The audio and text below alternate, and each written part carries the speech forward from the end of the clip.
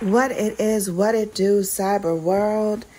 It's your girl, the one, the only Ash Brown, and this is the Ash Brown Uncensored Show.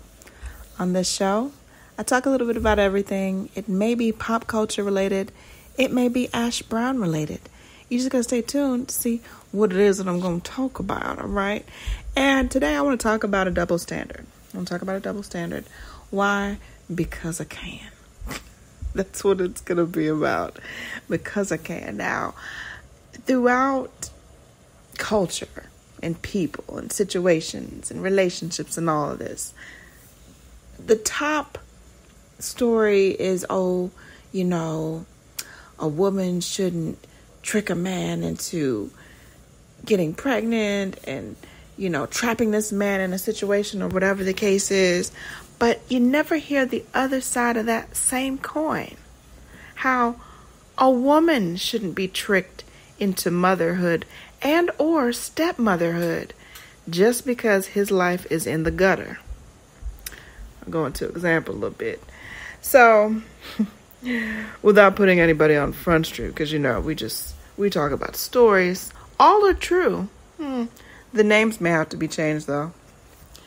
But okay, the situation was this guy got married, had some kids, broke up with wife, tried to basically incorporate an ex girlfriend into the mix and make her the stepmother without her consent, of course. Uh, make sure I put that in there.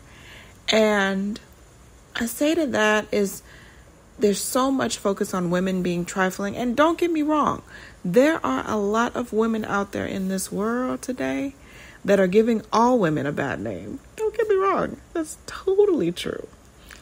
But I'm not talking about those women. I'm talking about the women that are looking for the opportunity to be themselves, to be individuals, to live life on their terms, to fall in love, to be in a relationship but unfortunately, you have some guys out here that want to trap them too. Trap them with baby, trap them with kids. Mm. Kids that ain't even theirs. Mm. And it's just unbelievable. It's really unbelievable how some people can be so narcissistic. And I'll talk about on both ends of the spectrum. I'm talking about mostly men on this one because that's what I'm, you know, that's what I'm versed in. But there are a lot of women also that create situations that can get a little sticky. But no, we're talking about the men. We're talking about the men. That's that's trifling, and it just blows my mind. It absolutely blows my mind that there are some guys out there that really don't give a crap about what it is that you want to do. They don't care about your goals, about your hopes, your dreams, and what you want to accomplish. They just want what they want when they want it. And they don't look at what you've got going on or how they can help enhance your dreams, your goals, your future. They're just looking at you as okay, she's an end to a means She's the solution to all these problems. And I know that a lot of men have looked at me in the past as a fixer. And when I say that, because I helped to, I had a hand in raising a lot of young people in my childhood, in my earlier formative years. And I know how to handle children. I do. But just because I know how to handle children does not mean I wish to bring any into this world. And a woman 30 plus, I say 35, well, we'll go 35 plus, you know, is it 35 plus? Typically, she knows what she wants. Typically, she has a pretty good idea. And she has a strong hold on whether or not kids are an option for her typically by that age, I would say, eh, you know, there, there may be a few wildflowers out there just roaming, tumbleweeds just in the wind. but for the most part, they know. So when a woman tells you she doesn't wish to be a mother, believe her. Believe her. Because nine times out of ten, she's being upfront and honest with you. And she doesn't need convincing, she doesn't need statistics. She needs you to just be an adult and respect her decision. Now, it should be a woman's right, but that's a whole nother story.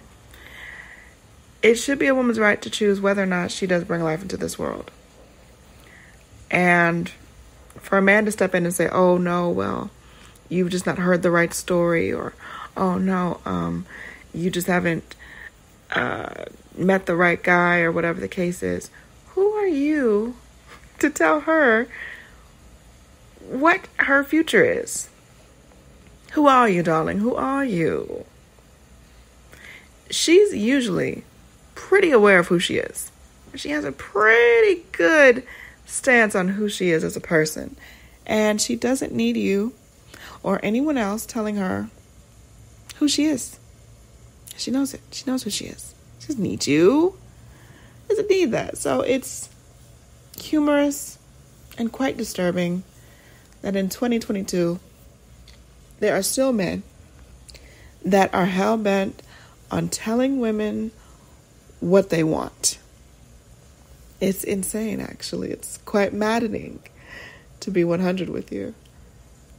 Quite maddening indeed. And who's to say that this woman, even if she doesn't want to bring life into this world, who's to say she won't to be a stepmama to your badass kids? Who said that? Who said that? I want to know who said that because I want to slap them in the face.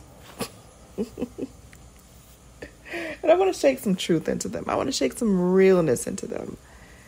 Who said that? Because not every woman wants to be a mother, and certainly not every woman wants to be a stepmother. I'm just putting it out there. Just putting those words out into the universe. You know, just it's just humorous to me. It's very humorous to me. Um, how selfish and self-centered some people can be.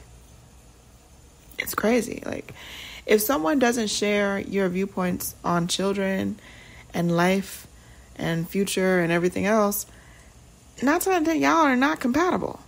And you just keep it keep that shit moving, keep it going. Because nine times out of ten, you're gonna find that person that you're equally yoked with. That person that you should be paired with.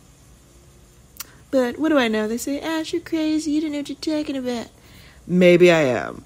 Or maybe I've just been living enough life to know some things, mm, they should be left alone. Mm, I'm just saying.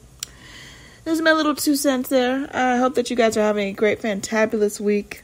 Um, it's a little rainy here in Seattle, but I'm sure we'll get over that. I'm supposed to get back to uh, the A soon, so we'll see how that is. But I love y'all. Have a great one have a powerful, prosperous, and just purposeful week. I love y'all. Thank you for the support. And I'm going to see y'all online. Deuces.